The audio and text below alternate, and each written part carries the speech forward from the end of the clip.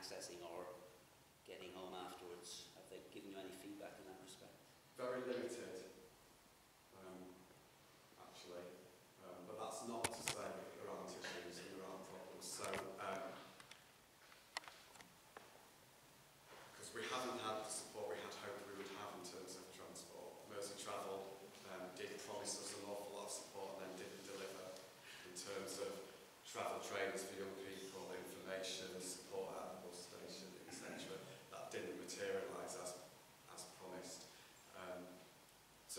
We are getting very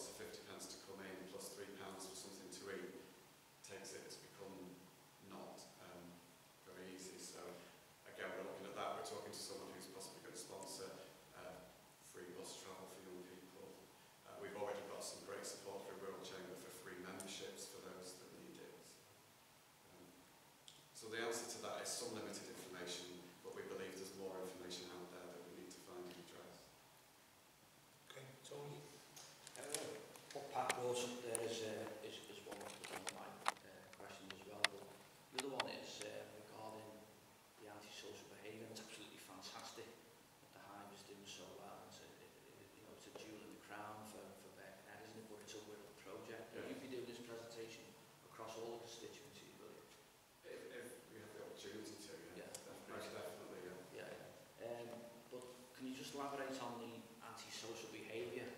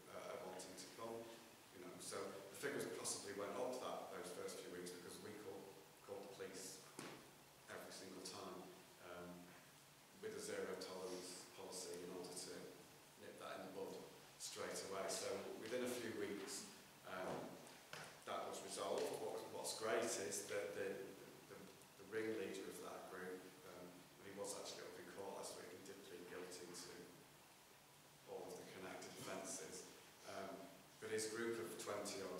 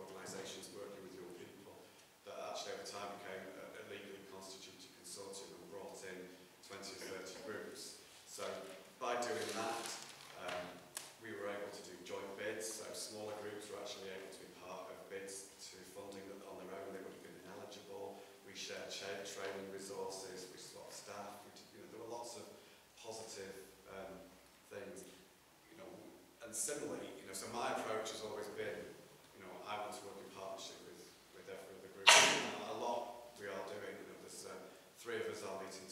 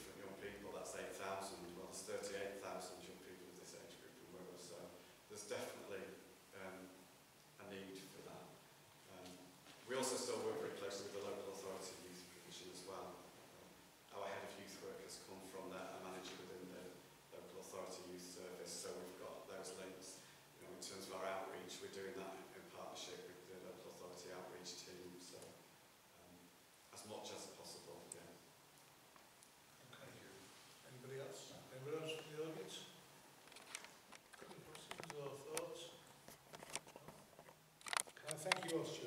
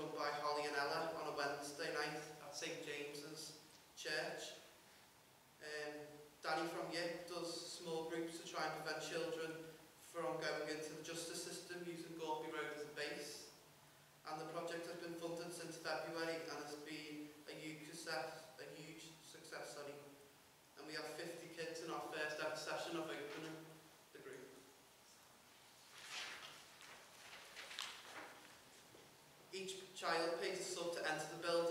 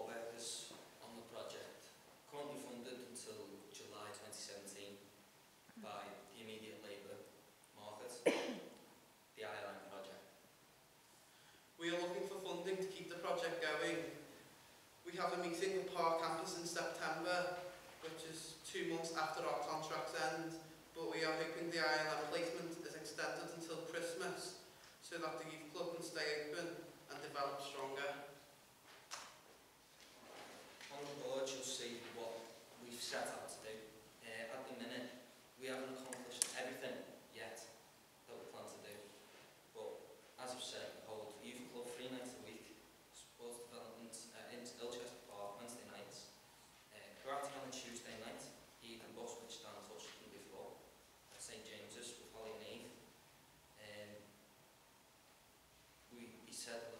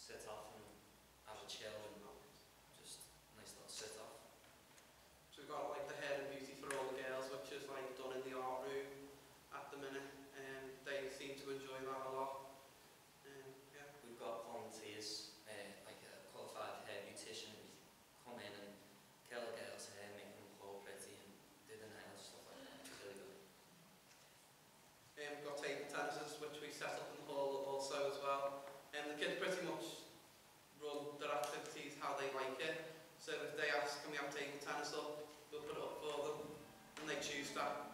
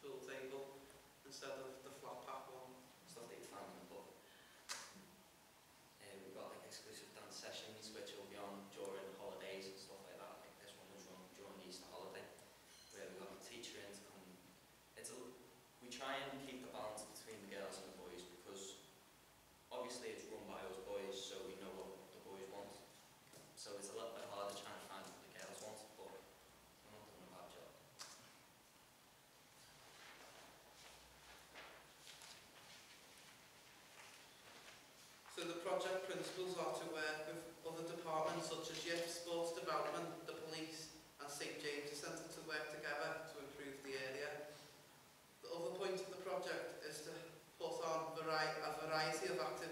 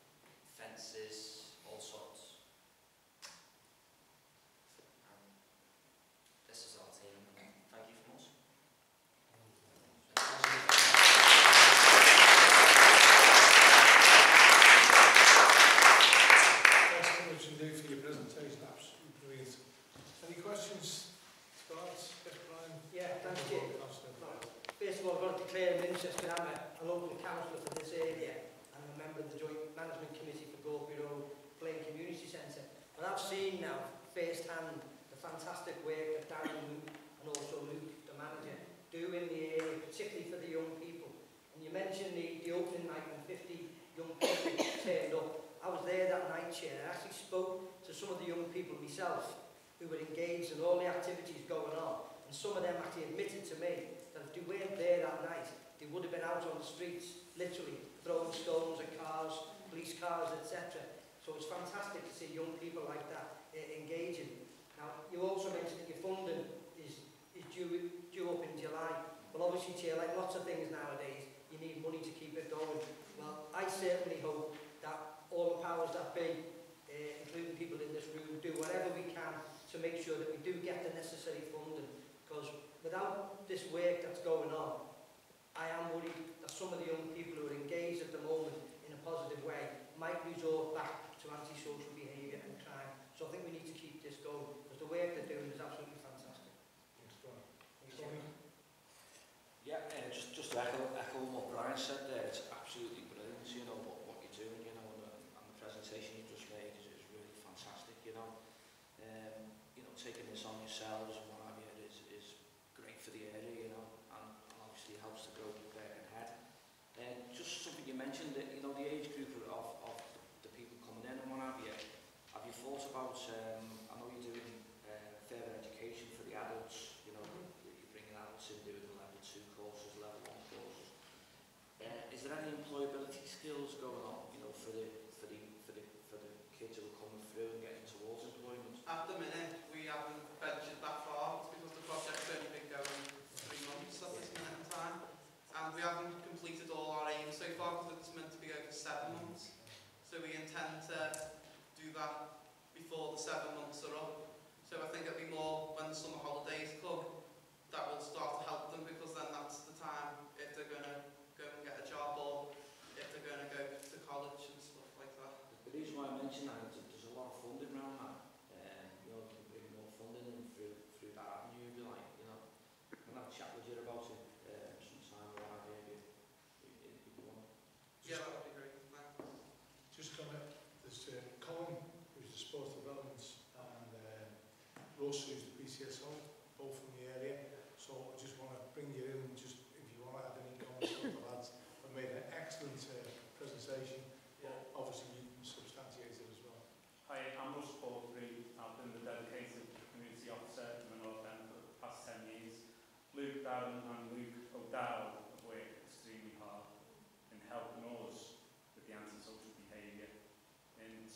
2016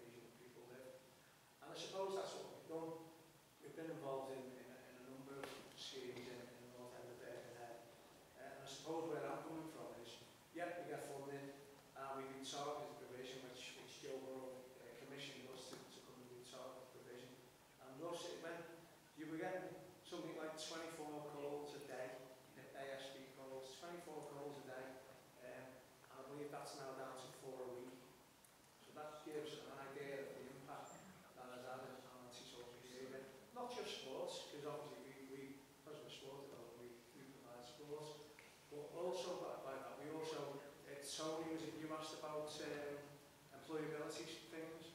So, you know, we can use these two lads and then that. bit. uh, Terry and, and Stuart are both in there in area. You've always been with coming with us when you were 12, haven't you? So he's, he's come to some of our sessions over the years. So what we try and do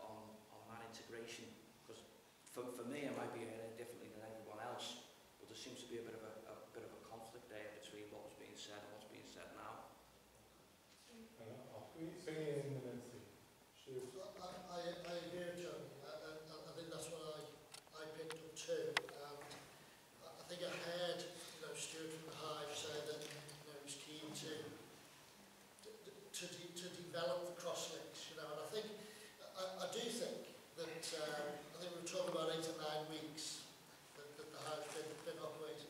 I think it's too early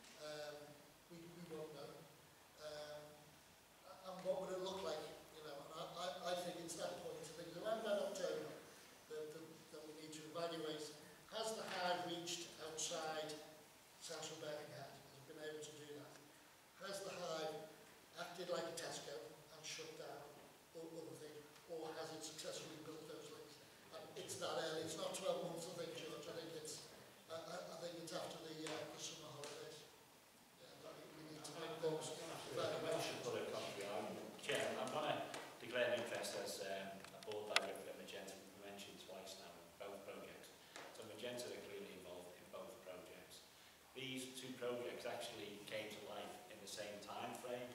So to say that they were actually in competition is, is a denial of the actual fact. They actually happened simultaneously. So to say one is stealing from the other, they've got to work complementary to each other and got to, got to work with each other. And if the perception is, well, I can say as a